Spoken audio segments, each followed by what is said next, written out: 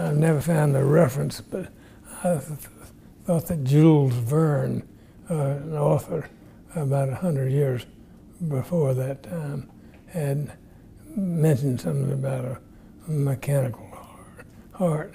But I don't know. I sort of dreamed in my own mind that the next step, the next major step, was to show that a mechanical device uh, could be used to substitute for the human heart.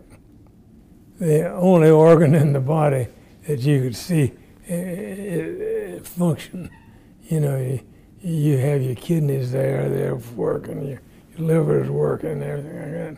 But the heart, you can actually see it um, working, and it's a fascinating organ from that standpoint. The first uh, heart transplant uh, reported from Cape Town, South Africa. It was uh, performed by a good friend of mine. His brother, I never will forget, uh, he was repairing a little femoral artery that had an opening in it where we had perfused the patient's blood. And he turned around at me and he said, Dr. Cooley, you must think I'm a lousy surgeon, but I'm a damn sight better than my brother. And he and his brother did the first heart transplant about a week or 10 days thereafter. That always stuck in my uh, memory. Kind of interesting, I think, uh, that uh, we all knew about the first heart transplant uh, from Cape Town South Africa, um, but we weren't sure whether we could uh, get involved or not, uh, or whether we were capable of doing it. But one of my residents at the time found a patient over at the Ben Taub Hospital who had uh, tried to commit suicide and had used a, a pistol uh, into the skull, and she was definitely brain dead. And she was 16 years old, and she became our first donor. Well, I was out of town at the time. I was up in Shreveport, Louisiana, giving a lecture to the medical society there when I got word that we had this donor. So I had to charter an airplane to come back from uh, Shreveport to get to Houston in time to get involved with the transplant. transplant. I had not spent a lot of time, or any time for that matter, in the uh, Baylor laboratory uh, trying to uh, develop the technique of transplantation. I was, I considered myself the most experienced uh, surgeon, heart surgeon in the world at the time. And there was no question about that. So I didn't need to go practice on a bunch of dogs and cats in the uh, animal laboratory at Baylor. Uh, my experience with transplantation indicated that the heart was nothing more than a pump and that it was a very simple device compared to the liver and the kidneys, which had multiple functions in our body. But the heart had only one function, that was to pump blood and to push the blood through a circulatory system. And it revealed that it could be replaced uh, by some other device. And if not uh, a biologic do- uh, donor, it could be replaced by a mechanical device or an artificial heart.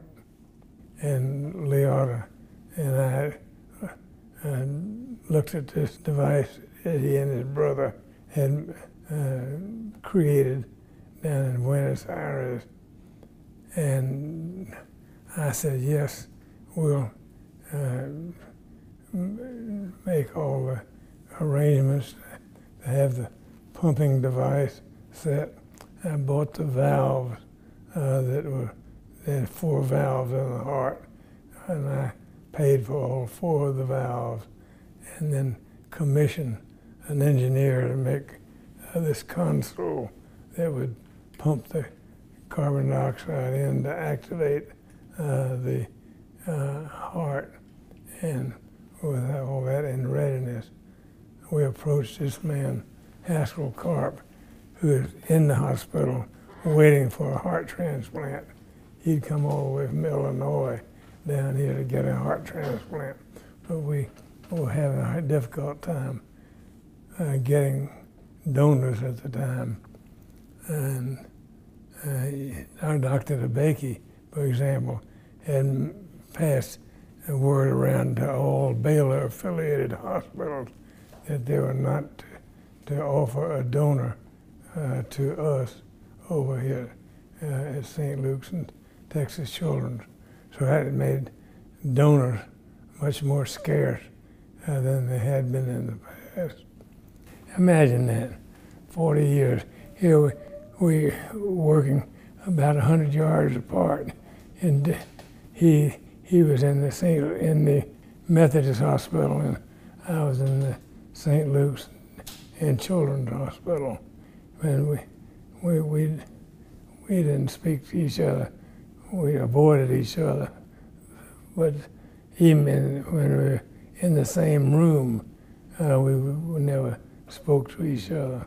And I think competitiveness, looking back on it, uh, the co- competitive uh, atmosphere between the St. Luke's and Methodist uh, really made for advances in the development of cardiac surgery.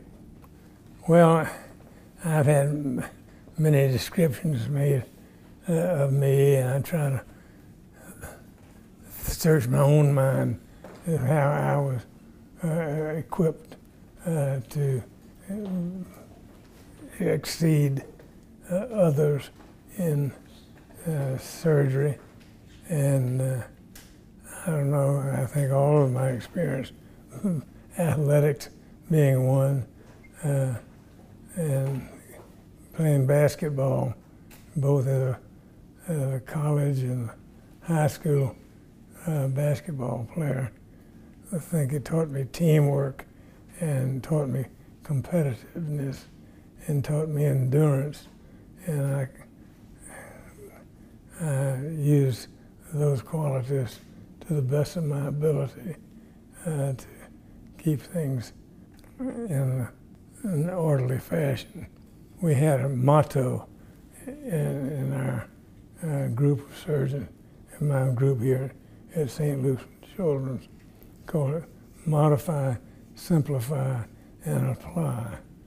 And any new procedure that might be reported from other institutions uh, were rather complex.